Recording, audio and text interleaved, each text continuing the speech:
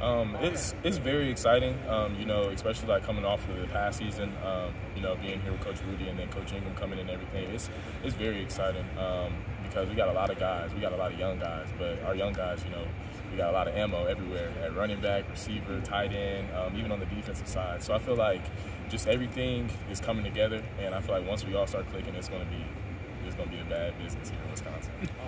You mentioned the young guys and, and this in this group what's the competition level like, you know, so far during spring practice with all you guys?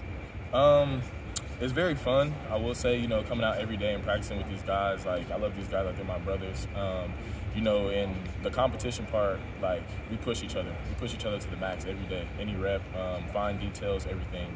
Like we critique each other, and you know, we don't take it to heart or nothing. We understand that we're trying to make everybody good out here and everybody better. So we take that like as a compliment. And you know, sometimes the stuff that you need to work on, but we approach each other that type of way. You know what I mean? So I feel like the competition here has spiked up and everything, but it's in a good way. You know, as in helping everybody, not breaking nobody down.